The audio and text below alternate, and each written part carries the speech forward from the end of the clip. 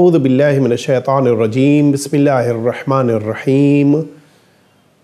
اللہم صلی علی محمد و آل محمد و عجل فرجہم۔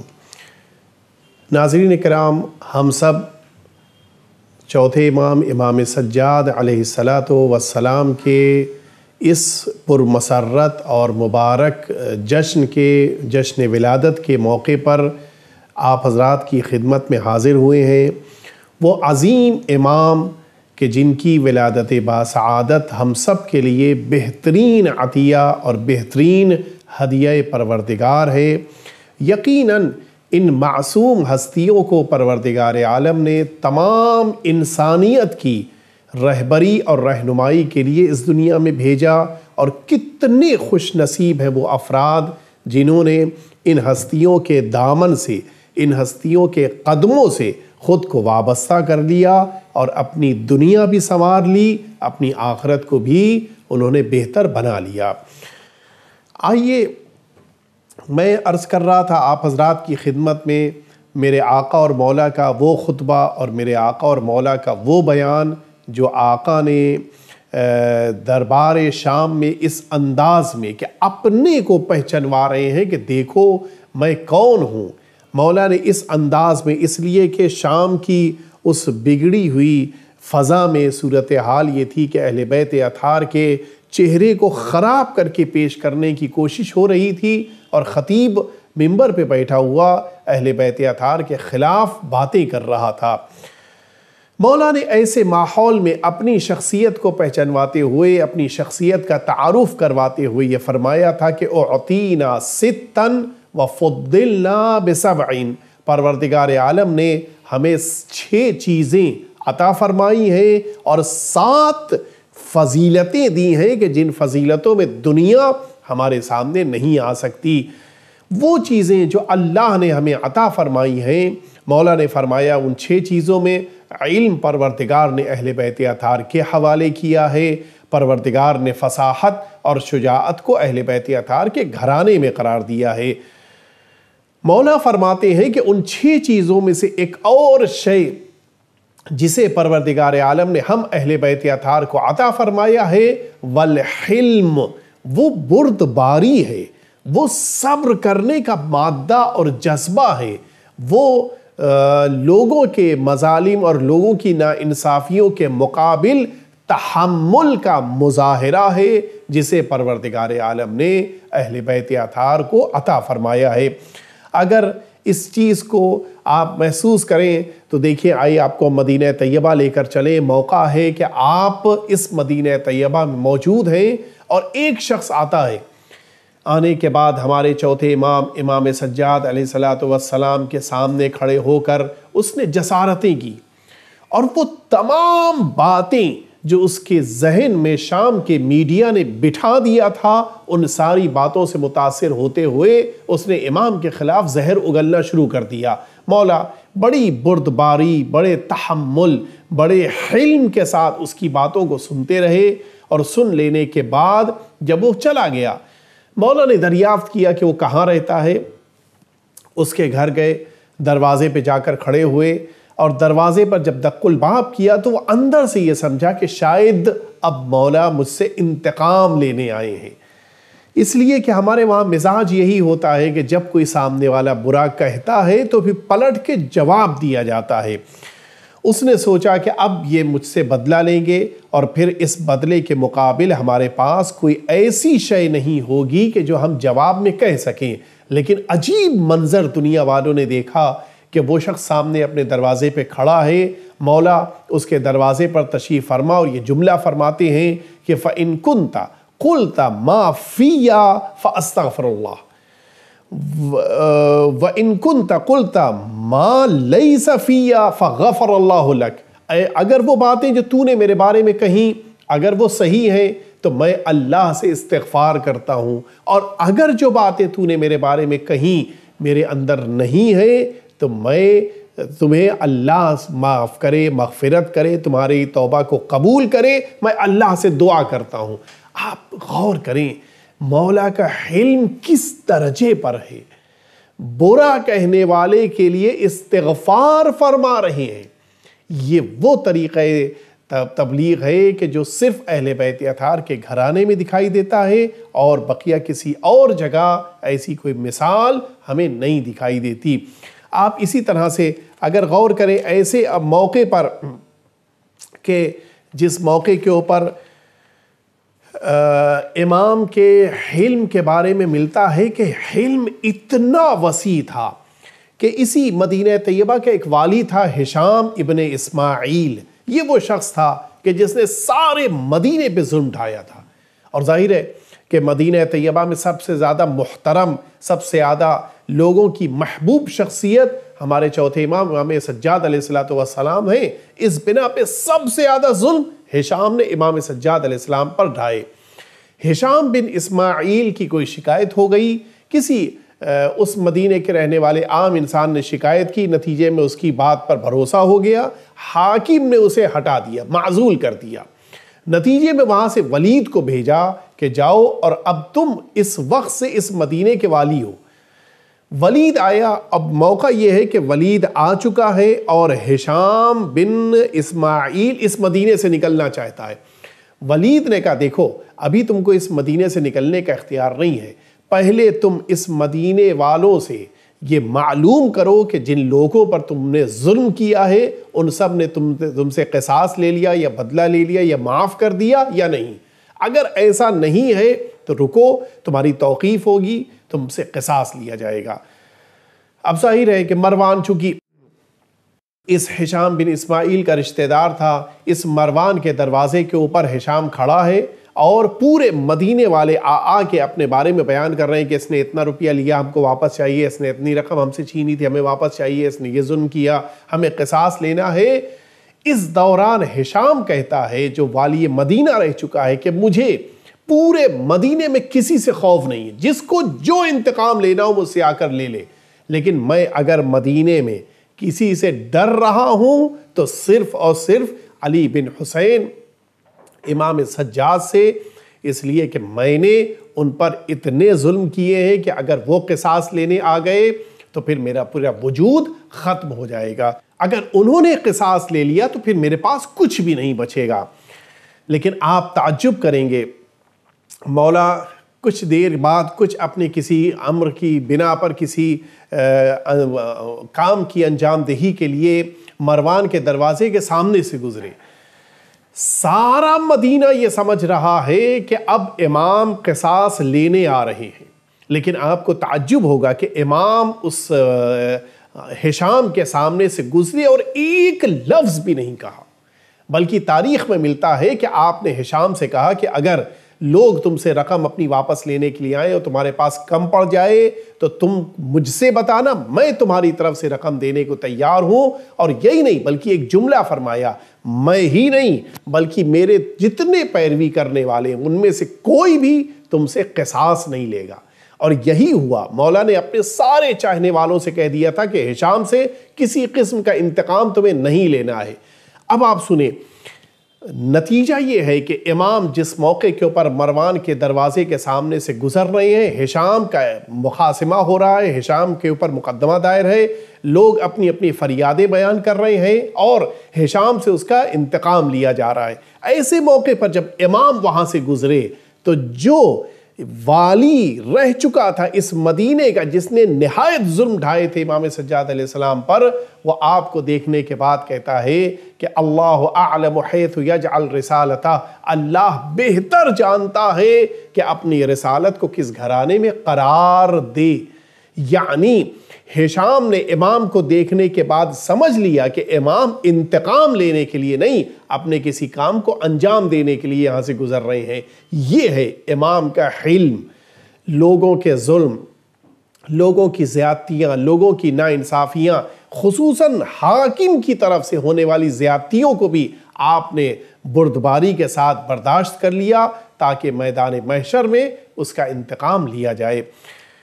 یہ وہ حلم ہے کہ جس کی مثال اہل بیت اتھار کے علاوہ کہیں اور کسی اور گھرانے میں نہیں دکھائی دیتی۔ میں جلدی ایک واقعہ اور عرض کر دوں۔ امام کے خاندان کی ایک فرد اسی مدینہ طیبہ میں۔ رات کی تاریکی میں جس موقع کے اوپر امام اس کے گھر کے قریب سے گزرتے تھے، کچھ رقم امام اس کو دے دیتے تھے۔ وہ امام کو نہیں پہچانتا تھا۔ وہ امام سے اس رقم کو لینے کے بعد یہ جملہ کہتا تھا کہ تم کتنے اچھے ہو اللہ کے بندے، کہ تم میری مدد کرتے ہو، جبکہ اسی مدینے میں میرے ایک رشتہ دار رہتے ہیں، اپنے امام کا نام لیتا تھا کہ وہ اس مدینے میں رہتے ہیں اور میری کبھی مدد نہیں کرتے۔ امام ہر روز اس کی مدد فرماتے تھے۔ ایک دفعہ بھی یہ جملہ نہیں فرمایا کہ جس کے بارے میں تم شکایت کر رہے ہو، وہی تمہاری مدد کرتا ہے۔ بات کب سامنے آئی، راز کب کھلا؟ جب مولا کی شہادت واقع ہوئی اور یہ رات کی تاریکی میں ملنے والی رقم اس رشتہ دار کی ختم ہو گئی، منقطع ہو گئی، تب اس نے معلوم کیا، دریافت کیا۔ پتہ چلا، جس شخصیت کو برا بھلا کہتا تھا، وہی شخصیت اپنے حلم، اپنی بردباری کے ساتھ ان ساری باتوں کو سننے کے باوجود اس کی مدد فرماتے تھے۔ آئیے چلیں۔ اس اگلے مرحلے کی طرف کہ مولا فرماتے پروردگار نے چھ چیزیں ہمیں عطا فرمائی ہیں، جن میں سے چوتھی شے حلم، اگلی شے فرماتے وَالسَّمَاحَ پروردگار نے بزرگواری ہمارے گھرانے میں قرار دی ہے۔ یہ بزرگواری اس مرحلے میں ہے کہ امام جب اسی مدینہ طیبہ میں غریبوں، فقیروں، یتیموں، بیواؤں کے درمیان ہوتے تھے تو بالکل سادگی کے ساتھ ان کے درمیان بیٹھ جانا، ان سے گفتگو کرنا، ان سے مسکرا کر کسی بات کو کہنا تاکہ ان کے اندر گفتگو کرنے کا حوصلہ پیدا ہو جائے، ان کے دسترخوان پر جا کر بیٹھنا تاکہ وہ آرام کے ساتھ اپنے گھر میں جس موقع کے اوپر مولا ان غریبوں کو دعوت دیتے تھے، خود دسترخوان پر بیٹھتے تھے۔ یہ بزرگواری دنیا میں معمولاً کہیں نہیں دکھائی دیتی۔ عرض کریں، آپ کی خدمت میں تاریخ میں لکھا ہوا ہے کہ مولا کی بزرگواری کا عالم یہ تھا کہ آپ اپنے بیت الشرف میں جب دسترخوان بچ جائے تو سارے غلاموں کو اپنے اسی دسترخوان پر اپنے سامنے بٹھاتے تھے اور ان سب کے ساتھ بیٹھ کر کھانا کھاتے تھے۔ یہ بزرگواری، یہ سماحہ وہ عظیم شے ہے کہ جو اہل بیت اتھار کے گھرانے ہی میں سامنے آتی ہے۔ مولا آخری فضیلت بیان فرماتے کہ والمحبہ فی قلوب المؤمنین، پروردگار نے جو چھٹی صفت ہمیں عطا کی ہے اور کسی کے پاس نہیں ہے، وہ شے ہے، لوگوں کے دلوں میں ہماری محبت کو قرار دیا ہے۔ اگر واقعی طور پر دیکھا جائے تو دنیا میں حکومتیں تو بہتوں نے کی ہیں، لیکن دلوں پر حکمرانی صرف اور صرف اہل بیت اتھار کی ہے اور اس کی بہترین مثال اگر آپ کو دیکھنی ہے تو واقعات کربلا کو آپ دیکھ لیجیے۔ حکومت یزید کے ہاتھ میں تھی، لیکن دلوں پر حکومت امام حسین کی تھی۔ آج بھی آپ دیکھ لیجیے، یزید کا نہ کوئی نام لیتا ہے، نہ کوئی ذکر کرتا ہے۔ لیکن امام حسین کا تذکرہ ہر وہ انسان کرتا ہے جس کے سینے میں دل دھڑک رہا ہے۔ جس کے سینے میں انسانیت ہے، جس کے سینے میں محبت ہے، جس کے سینے میں الفت ہے، اللہ کی بندگی ہے، وہ امام حسین کو یاد کر رہا ہے۔ اور اگر ہمارے چوتھے امام امام سجاد علیہ السلام کی وہ دلوں میں پائی جانے والی محبت کو دیکھنا ہو، تو آئیے میں آپ کو مکہ معظمہ لے کر چلوں۔ منظر یہ ہے کہ حشام بن عبد الملک عبد الملک اس زمانے میں خلیفہ ہے، حاکم ہے بنی امیہ کا۔ اس کا بیٹا حشام یہ حج کرنے کے لیے خانہ پروردگار میں مکہ معظمہ آیا ہوا ہے۔ مکہ معظمہ میں آپ جانتے ہیں کہ سبھی اپنی اپنے مناسک حج کو انجام دینے میں مصروف ہوتے ہیں، بقیہ کی فکر کسی کو نہیں ہوتی۔ حشام آیا حج کرنے کے لیے جس موقع کے اوپر طواف کرنے کے لیے خانہ کعبہ کے قریب ہونا چاہتا ہے، مجمع اتنا زیادہ ہے کہ اس حشام کو آگے بڑھ کے نہ تو اس اسلام کا موقع مل رہا ہے کہ وہ جائے خانہ کعبہ میں اس حجر اسود کو بوسا لے اور پھر اپنا طواف شروع کرے اور پھر لے آگے حجر اسود پہ مکمل کرے۔ مجمع اتنا زیادہ ہے کہ کوئی ایک بھی فرد اپنی جگہ سے ہٹ کے حشام کو آگے جانے کا موقع دینے پر تیار نہیں ہے۔ ظاہر ہے، ایک حکومتی روب، ایک حکومتی جذبہ ہوتا ہے کہ جس کو ہر حاکم اپنے اندر محسوس کرتا ہے۔ یہ تو حاکم کا بیٹا ہے، جس کے بارے میں کہا ہی جا رہا ہے کہ یہ فیوچر میں حاکم بننے والا ہے۔ اس کے اندر تو اور زیادہ۔ یہ احساس ہے کہ مجھے لوگ راستہ کیوں نہیں دے رہے ہیں۔ بہرحال، جب لوگوں نے راستہ نہیں دیا حشام وہاں سے ذرا ہٹا۔ ایک بلندی کے اوپر آ کے کھڑا ہو گیا کہ جب کچھ دیر کے بعد یہ مجمع گھٹے گا، مجمع کم ہوگا اور پھر تعداد کم ہو جائے گی، تو میں جا کے طواف انجام دوں گا۔ مجمع پورے خانہ کعبہ کے چاروں طرف کھچا کھچ بھرائے اچانک حشام نے عجیب منظر دیکھا۔ حاکم کا بیٹا گیا تھا طواف کرنے، مایوس ہو کے واپس پلٹا ہے اور یہی مجمع کہ جس میں ایک انچ جگہ دینے پر کوئی تیار نہیں تھا، اسی مجمع کو اس نے دیکھا کہ کائی کی طرح سے پھٹ رہا ہے، سارا مجمع ہٹ رہا ہے اور کسی ایک فرد کو راستہ دے رہا ہے تاکہ وہ حجر اسود کی طرف جائیں، اس کا بوسہ لیں اور پھر آگے بڑھیں اور اپنے طواف کو مکمل کریں۔ بڑی حیرت سے دیکھا، پہچانتا تھا، جانتا تھا لیکن پھر بھی اس لیے تاکہ یقین ہو جائے، اس نے غور کیا تو پتہ یہ چلا کہ یہ کوئی اور نہیں، بلکہ عالم اسلام کی سب سے عظیم اس وقت روئے زمین کی شخصیت یعنی امام سجاد علی ابن الحسین علیہ السلام ہے کہ جو خانہ کعبہ میں اللہ کے گھر کا طواف کرنے کے لیے تشریف لائے ہیں۔ لوگوں کے دلوں میں محبت کا عالم یہ ہے کہ اتنا بڑا مجمع آپ کے لیے راستہ دینے پر تیار ہے، آپ کو حجر اسفت تک جانے کا موقع دینے پر تیار ہے۔ نہ اب کسی کو یہ احساس ہے کہ میں اپنی جگہ کیوں دوں، نہ یہ فکر ہے کہ اگر تاخیر ہو گئی تو کیا ہوگا۔ کیوں؟ اس لیے کہ حکومت جسموں پر کرنا اور ہوتا ہے، دلوں پر حکومت کرنا اور ہوتا ہے۔ جسموں پر حکومت کرنے والے عبد الملک کا بیٹا حشام مایوس ہو کے واپس آ گیا۔ دلوں پر حکومت کرنے والے امام سجاد علیہ السلام ہیں کہ جو حجر اسود کی طرف بڑھ رہے ہیں، پورے وقار کی طرف وہاں پہنچ رہے ہیں اور اپنے مناسک حج کو انجام دے رہے ہیں۔ یہ اس بات کی دلیل ہے کہ وہ چھ چیزیں جنہیں پروردگار عالم نے اہل بیت اتھار کو عطا فرمایا ہے، ان چھ چیزوں کی نہ تو نظیر کہیں ملتی ہے، نہ جس کی کوئی مثال ملتی ہے۔ مولا اس کے بعد فرماتے ہیں کہ پروردگار عالم نے وہ فضلنا ہمیں سات چیزوں کے ذریعے سے فضیلت دی ہے، دوسروں سے بہتر بنایا ہے۔ سب سے پہلی چیز بے انا من النبی المختار محمدن صلی اللہ علیہ وآلہ وسلم۔ پروردگار نے احمد مرسل حضرت ختمی مرتبہ محمد مصطفیٰ صلی اللہ علیہ وآلہ وسلم کو ہمارے گھرانے میں قرار دیا۔ وَمِنَّ الصِّدِّيقِ پروردگار نے سب سے عظیم سچے سرکار امیر المؤمنین کو ہم اہل بیت اتھار میں قرار دیا۔ وہ منت تیار فرماتے ہیں کہ پروردگار عالم نے جناب جعفر تیار کو ہمارے گھرانے میں قرار دیا۔ وہ من اسد اللہ و اسد الرسول۔ پروردگار نے اللہ کے اسد اور اللہ کے رسول کے اسد یعنی جناب حمزہ کو اسی گھرانے میں اہل بیت اتھار میں قرار دیا۔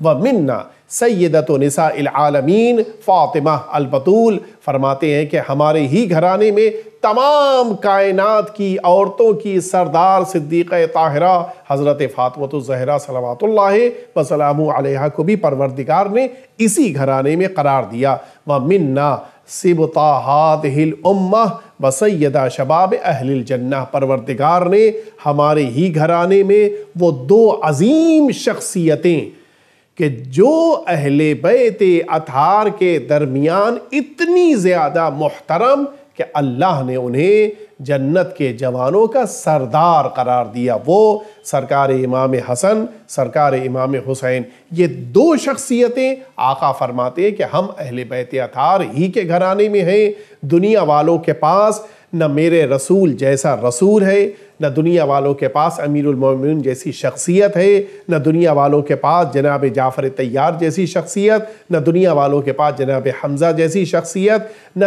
دنیا والوں کے پاس جناب صدیقہ طاہرہ جیسی عظمت خاتون، نہ ہی دنیا والوں کے پاس امام حسن اور امام حسین جیسے برگزیدگان پروردگار موجود ہیں۔ اور یہیں سے یہ بات سمجھ میں آتی ہے کہ سرکار امام سجاد نے یہ جو اپنا تعارف فرمایا ہے، یہ وہ بے مثال تعارف ہے کہ جس کی دنیا میں کہیں نظیر اور جس کے بارے میں کوئی جملہ ہی کہہ دیا جائے کہ ان کے جیسا کہا گیا، ممکن نہیں ہے۔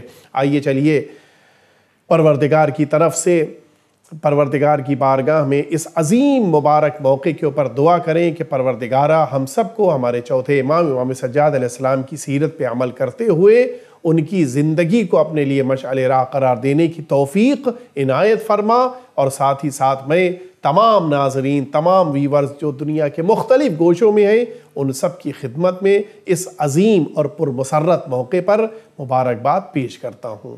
وصلی اللہ علیہ سیدنا محمد و آلہ الطیبین الطاہرین۔